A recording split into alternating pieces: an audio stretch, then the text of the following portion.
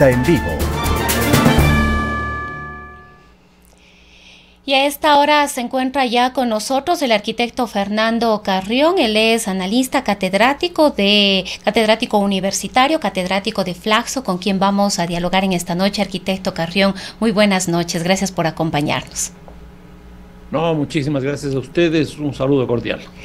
Bueno, arquitecto, quizás quisiéramos arrancar este diálogo con usted con este antecedente de esta nota que acabamos de pasar a propósito de esta revisión que va a hacer la Asamblea Nacional el día de mañana y no ha sido eh, un tema que ha estado exento de preocupaciones la bajísima ejecución presupuestaria de la gestión actual del gobierno, pues no hay un solo ministerio que tenga una ejecución que vaya más allá del 40 Creo que hay uno, el Ministerio de Telecomunicaciones, que llega al 54%, pero hay eh, secretarías de Estado que ni siquiera llegan al 10% y la propia presidencia de la República, que incluso había incrementado su presupuesto para este 2022, no llega ni siquiera al 30% de ejecución. Es un tema que debe preocuparnos, que debe llamarle la atención al mismo presidente de la República.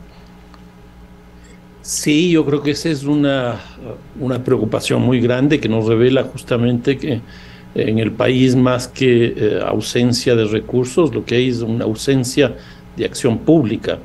Eh, si nosotros vemos que más o menos el promedio de los ministerios, de las instituciones públicas, el gasto está alrededor del 40%, eso quiere decir que básicamente en lo que están invirtiendo es en gasto corriente es decir, en pago a, funcionarios públicos.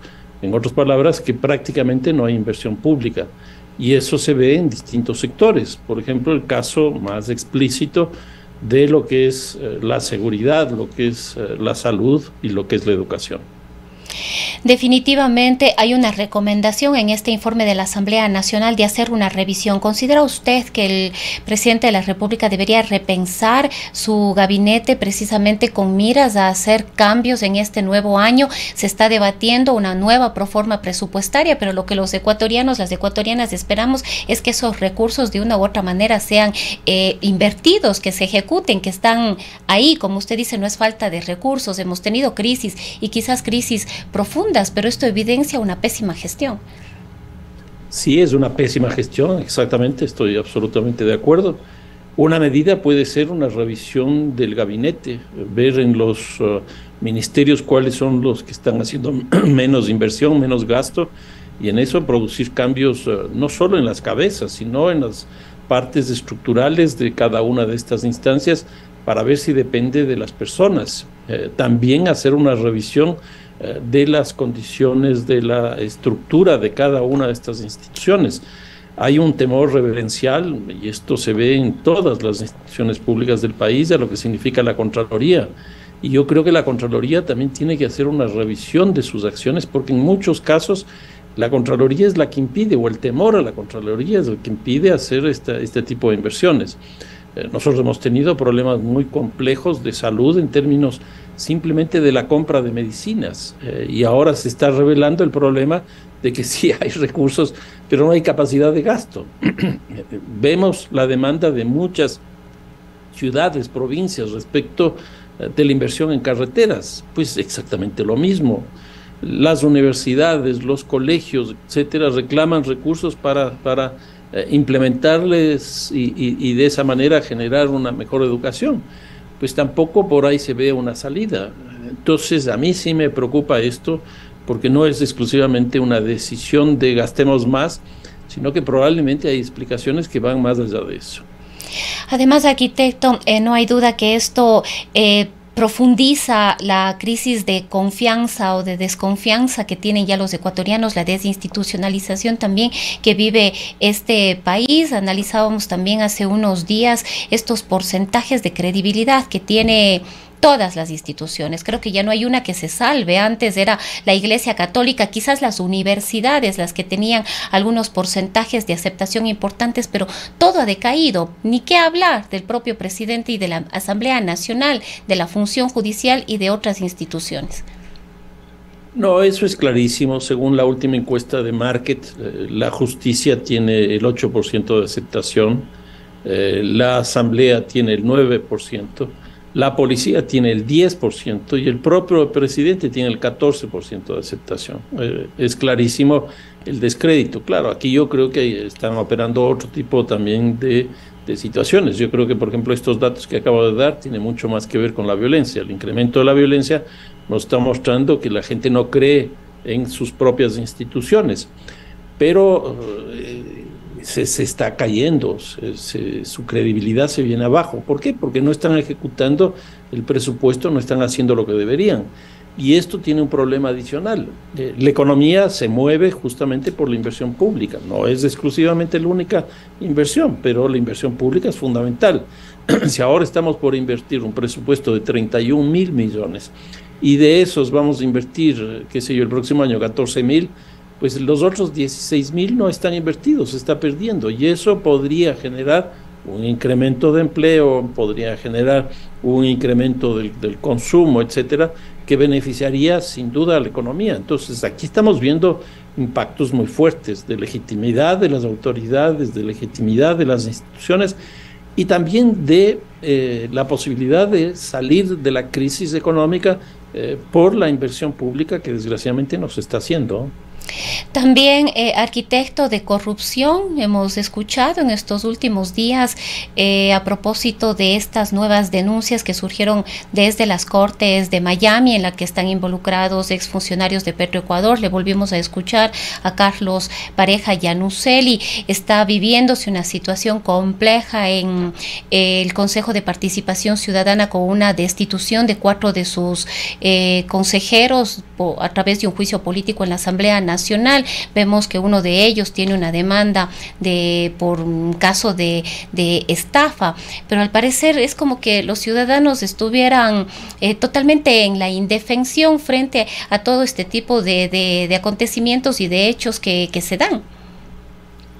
Sí, esto es también clarísimo, lo que estamos viendo con el Consejo de Participación Ciudadana, que incluso estamos a las puertas de elegir o, eh, o reelegir a ciertos miembros de, esta institución. Eso en principio está eh, programado, está planificado para que se lleve a cabo eh, de manera conjunta con las elecciones locales el 5 de, febrero próximo. Eso significa que estamos a cuatro meses de, las elecciones.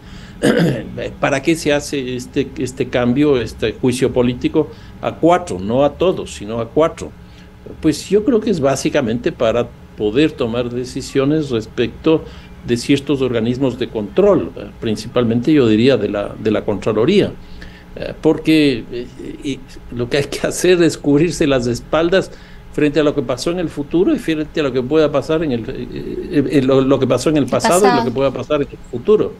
Y entonces eso, eso es que el país está ausente, es simplemente un problema de una, dos, diez personas que están vinculados a la gestión pública que quieren, quieren eso. Y, estamos viendo ya lo que podría también llevar a cabo un proceso de conflicto entre instituciones, entre la Asamblea y eh, el, sistema, el sistema judicial y el Consejo de Participación Ciudadana.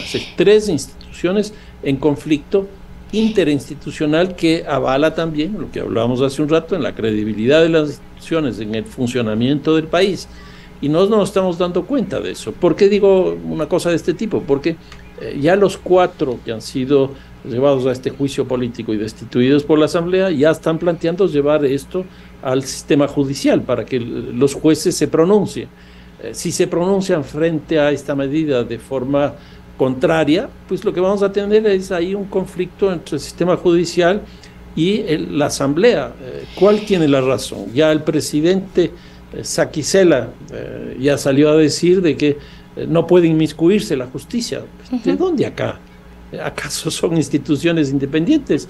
Pues hay un sistema judicial, hay una constitución, hay leyes y es y habrá que respetar las mismas. Si es que este, esta acción de protección que están planteando estos cuatro miembros de la Corte del, del Consejo de Participación tiene sentido, eh, y ellos se pronuncian así, pues la Asamblea tendrá que respetarlos, no les queda más remedio. Pero el arquitecto, ¿usted considera que probablemente esto se va a agravar aún más si es que llega a, a tener el voto favorable de la población estas preguntas en la consulta popular. También escuchamos ya expresiones de algunos eh, consejeros de participación ciudadana que están por la reelección advirtiendo que eso no es posible, digamos, que se pueda aplicar efectivamente lo que se está proponiendo por parte del Ejecutivo. Son dos preguntas que conciernen al Consejo de Participación.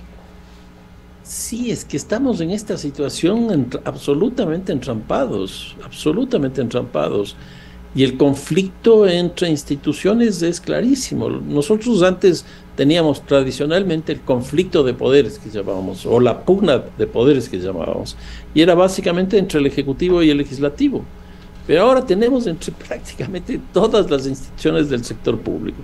Cuando se produjo, por ejemplo, el macabro asesinato eh, de, la abogada Bernal en la policía, ahí se produjo un problema entre la policía, la fiscalía y la justicia. Tres instituciones ahí en conflicto.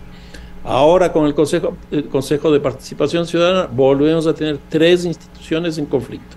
El propio Consejo de Participación Ciudadana, la justicia, la Asamblea. Estamos llegando a una situación en que francamente nada camina porque todos estamos en conflicto eh, y los problemas del país son tan grandes que incluso ni la inversión pública puede ayudarnos a salir de esta situación. Y definitivamente las cosas se van eh, complicando y se pierde la confianza de que haya algún viso de solución, sobre todo en este tema que usted ya lo tocó también, que pasa por la inseguridad, esta crisis de la seguridad que estamos eh, viviendo en el país. en los últimos días hemos visto nuevos enfrentamientos, el más reciente en la cárcel del Inca. Hay pedidos de los ciudadanos de, de, Quito de que salga este centro de privación de la libertad de acá, pero en realidad esto es consecuencia de que no hay una política efectiva por parte del gobierno nacional. Entendemos que es una situación muy, muy compleja lo que se está viviendo dentro de las cárceles y gran parte de esto que se ha trasladado ya a las, a las calles, pero tampoco vemos que haya eh, una solución, como decía, eh, efectiva o nos estamos enrumbando siquiera en una solución que pueda ser efectiva para enfrentar eh, esto que se está viviendo. Lo que estamos viviendo en el sistema carcelario es francamente de terror, francamente de terror. Se ha hecho una reubicación de personas privadas de la libertad bajo tres criterios. Uno primero, los líderes de las, ah, de las de las, de las bandas criminales que les han ido reubicando en la cárcel denominada La Roca. Luego, cerca de 3.000 personas privadas de la libertad hacia otros recintos carcelarios, donde quizás el principal y el más masivo ha sido el de, el de Puerto Viejo pero en tercer lugar también una reubicación dentro de los propios recintos carcelarios. Yo creo que esa es una medida necesaria, útil, pero no se está midiendo las consecuencias que eso pueda tener. Y hoy día lo que estamos viviendo es la integración de los territorios frente al crimen. Eh, ustedes recordarán eh, eh, la primera masacre masiva de cárceles que se produjo en el 2021, donde estuvo la cárcel del Turi en, en, en, Azuay, la cárcel de, eh, de, eh, de la penitenciaría. Y, y, las dos de Guayaquil, la penitenciaría y la regional 8, eh, pues ahí se vio claramente que estaban integrados bajo estas formas de organización que, que, que tenemos, de estas mafias. pero ahora ya no están esos cuatro, ahora están, además de esos cuatro, Está Santo Domingo de los Colorados, está Esmeraldas y está Pichincha. Eh, en otras palabras, se va ampliando el efecto de integración de eh, la violencia, por lo menos en este ámbito que estoy diciendo, del sistema carcelario. Pero también esto ha tenido repercusión fuera de las cárceles. Ya hemos visto cómo nuevamente se integraron eh, Guayaquil, Durán, Santo Domingo, Esmeraldas, con alrededor de 18 coches bomba que se produjeron en todos esos lugares, además de artefactos eh, pues, eh, de, uso prácticamente militar eh, con, con, bombas. entonces, esto está pues incrementándose de una forma increíble y, bueno, de lo que hemos visto el día de hoy, no hay inversión pública. Y quizás Hace pocos días estuvieron circulando unos videos eh, presuntamente grabados dentro de los centros de privación de libertad en la que algunas bandas se comprometían a mantener la paz dentro de las cárceles del país. ¿Qué nos dice esto? ¿Es un indicador más de que quien tiene el poder en sus manos son estas bandas y no el Estado ecuatoriano? O sea, yo creo que es clarísimo que la reacción del gobierno, y en eso me parece correcto y necesario, se dio cuenta que el control de las cárceles, el manejo de las cárceles, el gobierno de las cárceles, estaba en manos de estos grupos criminales, de estas estructuras criminales. Y para eso tiene que producir un cambio importante reubicando a las personas privadas de la libertad. Pero eso no es suficiente, hay que hacer otro tipo de medidas más, más, significativas. Por decir algo, simplemente la infraestructura, son 35 o 36 cárceles.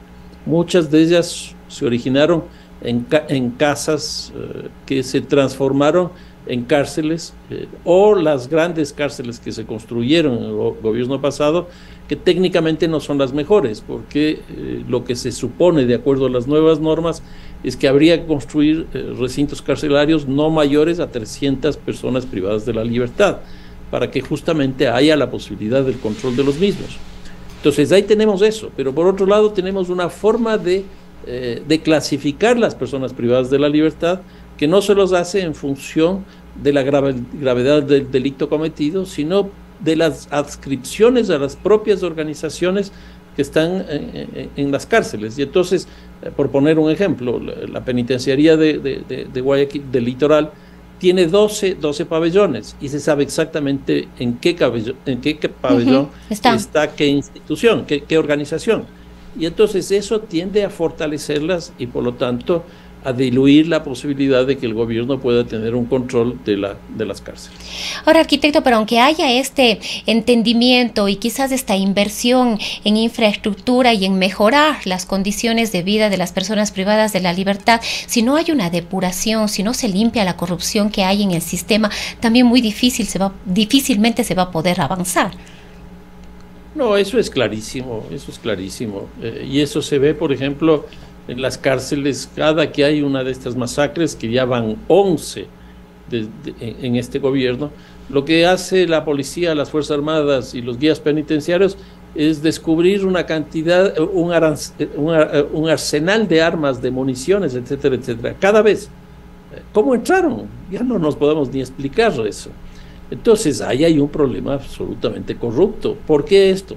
Porque dentro de las cárceles hay más recursos económicos que fuera. Los, eh, el negocio que está dentro de la cárcel es brutal. La cantidad de recursos que maneja la cárcel internamente es mucho más alto del presupuesto que el propio Estado ecuatoriano tiene para eh, pues, gobernar estos, estas cárceles. Ahora, arquitecto, quizás para ir cerrando ya este diálogo, siempre nos preguntamos entonces, ¿qué va a pasar? ¿Qué hacer frente a esta eh, situación? Vemos que definitivamente no se logra superar. Hablamos también de una necesaria depuración en el sistema, no solo de, los centros de rehabilitación, del sistema penitenciario, sino dentro de la propia policía. Dentro, se acaba de denunciar el hurto de 12 fusiles AK-47 dentro de la misma armada, dentro de la propia función judicial.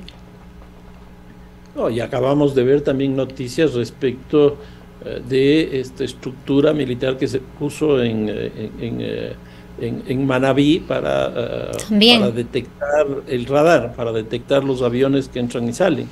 El costo de arreglar eso, pues ya ha pasado casi un año. recién tenemos el presupuesto, son casi 8 millones, 7 millones y algo.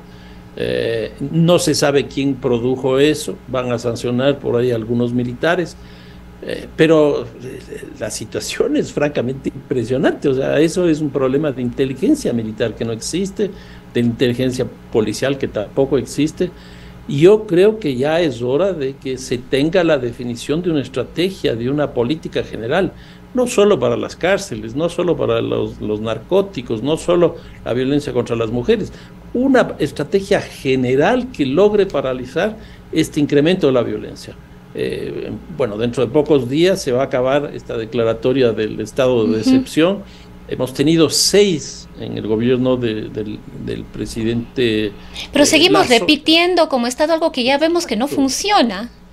Exactamente, exactamente. Y esas seis significan nueve meses de 17 que ha estado este gobierno. Y, lo que vemos es que el tiempo nos, nos, muestra que va incrementándose. Nos dan los datos de que durante esta declaratoria de emergencia se hicieron ni sé cuántas eh, acciones por parte de la policía, recuperaron tantas armas, metieron tantas personas presas, etcétera, etcétera, como para mostrar que sí, que sí es eficiente. Se acaba el estado de excepción y la violencia sigue subiendo.